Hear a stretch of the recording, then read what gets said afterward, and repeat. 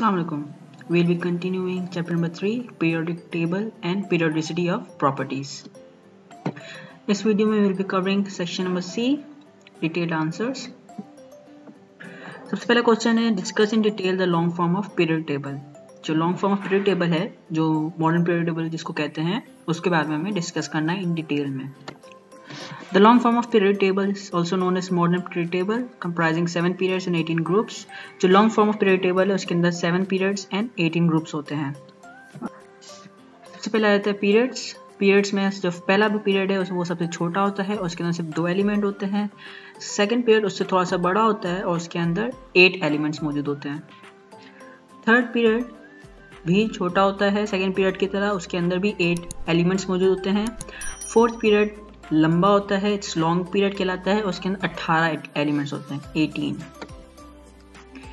Fifth period भी long period होता है फोर्थ पीरियड की तरह, उसके अंदर भी 18 एलिमेंट्स होते हैं.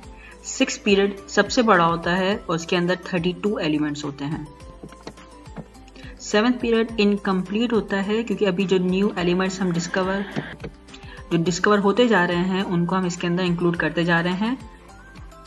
इसकी एक सिंपल सीरीज़ होती है जो अलग से, चौदह एलिमेंट्स की अलग से लिखी हुई होती है और उसको हम लोग एक्टिनाइट सीरीज़ कहते हैं। अब आते हैं ग्रुप के अंदर।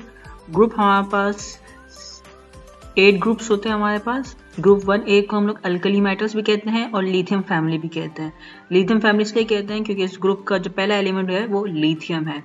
और इन सब के पास एक ही इलेक्ट्रॉन होता है अपने लास्ट शेल के अंदर। Group two alkaline earth metals कहलाता है। और उसको बेरिलियम फैमिली भी कहते हैं, क्योंकि सबसे पहला एलिमेंट बेरिलियम होता है। और क्योंकि ये ग्रुप टू में है तो इसका मतलब है इनके वैलेंस शेल के अंदर दो इलेक्ट्रॉन्स होंगे। ग्रुप थ्री को बोरॉन फैमिली कहते हैं, क्योंकि पहले एलिमेंट बोरॉन है, और इनके वैलेंस इलेक्ट्रॉन शेल में, आखिरी शेल में तीन इलेक्ट्रॉन्स होते हैं। ग्रुप फोर ए को कार्बन फैमिली कहते हैं, क्योंकि फ़र्स्ट एलिमेंट कार्बन है, और इनके आखिरी शेल के अंदर वैलेंस शेल के अंदर चार इलेक्ट्रॉन्स होते हैं। फिर आता है group five group five A को नाइट्रोजन फैमिली कहते हैं, क्योंकि फ़र्स्ट एलिमेंट नाइट्रोजन है. और इनके लास्ट शेल के अंदर बैलेंस शेल के अंदर फाइव इलेक्ट्रॉन्स होते हैं. ग्रुप सिक्स ए उसको ऑक्सीजन फैमिली कहते हैं, क्योंकि पहला एलिमेंट ऑक्सीजन है. और इनके बैलेंस शेल के अंदर, आखिरी शेल के अंदर सिक्स इलेक्ट्रॉन्स होते हैं. Group seven A halogen family कहलाती है. और इनके जो फ़र्स्ट एलिमेंट है, वो फ्लोरीन है.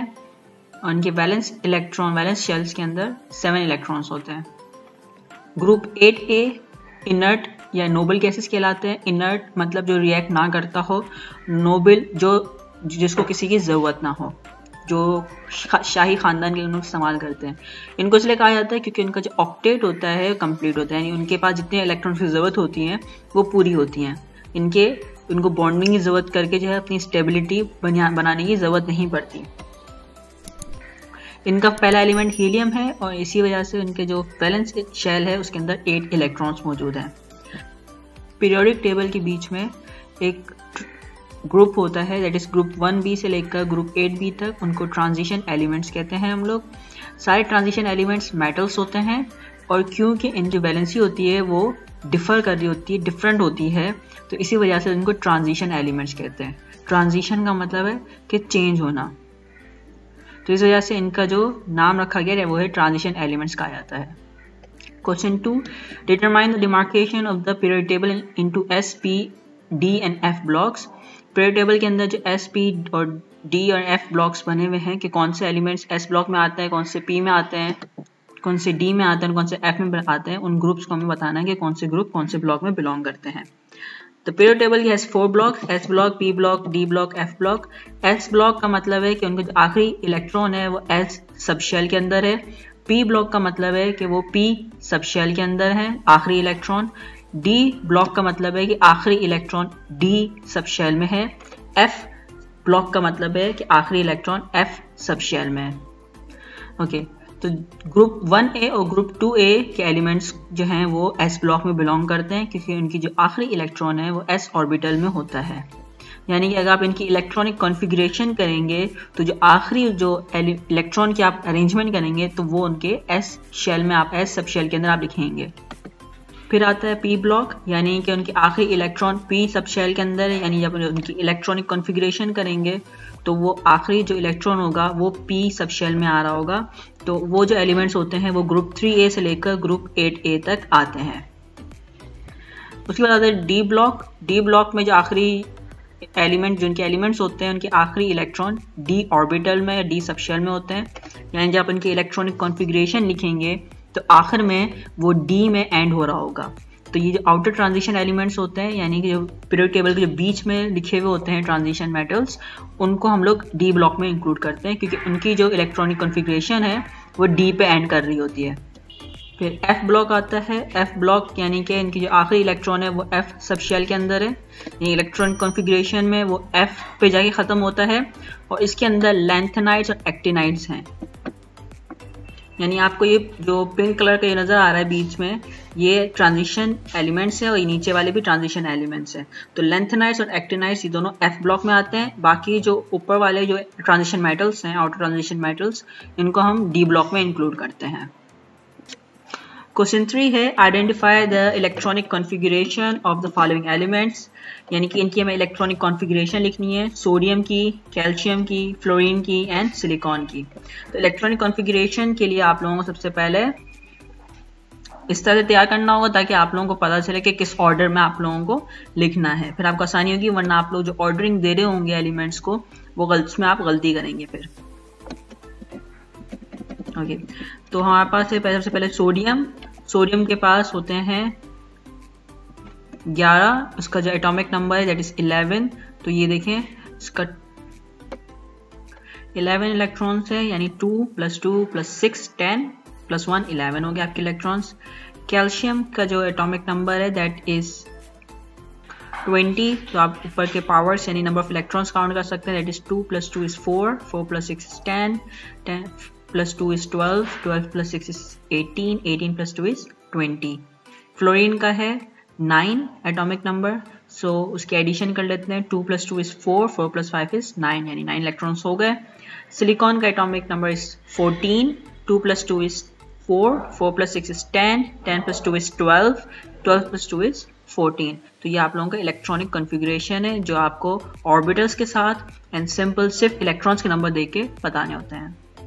फिर आता है question number four determine the location of families on the period table इसमें बस ये बताना है कि कौन सी फैमिलीज़ कौन सी जगह पे मौजूद होता है पीरियड टेबल में। हमारे पास नाइन फैमिलीज़ हैं। लिथियम फैमिली होता है ग्रुप वन बेरिलियम फैमिली होता है ग्रुप टू बोर्न फैमिली होता है group three A carbon family होता है group four A, nitrogen family होता है group five A, oxygen family होते हैं group six A, halogen family होती है group seven A, group eight A होते हैं इनर्ट इनोबल गैसेस, और वन बी से लेकर एट बी तक हम कहते हैं transition element.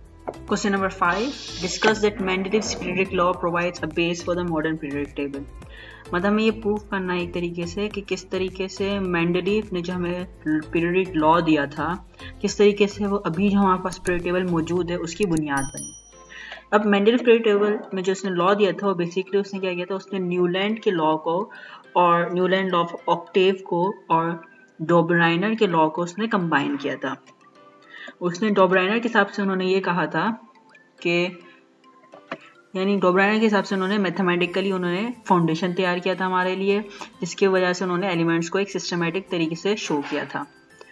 उन्होंने क्या किया? फिर असेंडिंग ऑर्डर में एटॉमिक मासेस को रखा, और फिर जो मिसिंग एटॉमिक मासेस हो रहे थे एलिमेंट्स हो रहे थे, वो उन्होंने लॉ ऑफ़ ऑक्टेव जो न्यूलैंड ने दिया था, उनके थ्रू उन्होंने गैप्स छोड़े थे।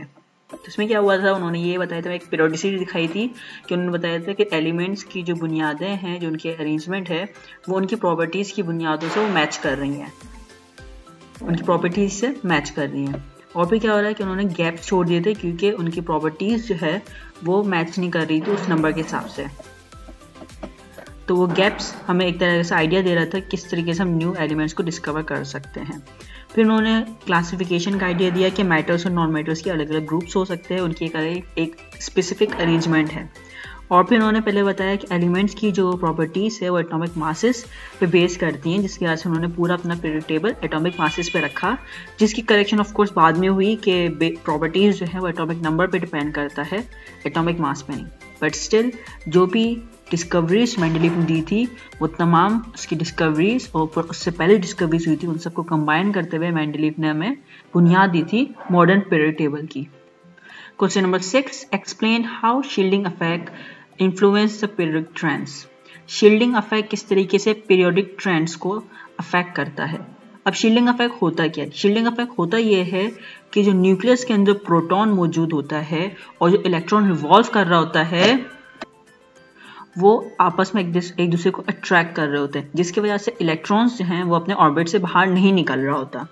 यानी कि जो इलेक्ट्रॉन होता है बॉन्डिंग के वक्त जब दूसरे इलेक्ट्रॉन दूसरे एटम वस्त चला जाता है तो वो अगर प्रोटॉन की जो पावर है न्यूट्रॉन की जो पावर है वो कम होती है तो आसानी से हम इलेक्ट्रॉन निकाल पाते हैं एक एटम से। तो ये अफेक्ट होता है वो बेसिकली क्या होता है कि न्यूक्लियस का कितनी पावर है कि, कि वो इलेक्ट्रॉन को अपनी जगह पे उसको मेंटेन रख सके उस जगह पे। तो उस रिडक्शन ऑफ़ पावर को उस न्यूक्लियर के टेंशन को हम लोग कहते हैं शील्डिंग अफेक्ट अब जितनी ज़्यादा शील्डिंग अफेक्ट होगी आपके पास, जितनी ज़्यादा शील्डिंग इलेक्ट्रॉन्स होंगे तो इसका मतलब क्या है कि आपके पास फोर्स कम होगी।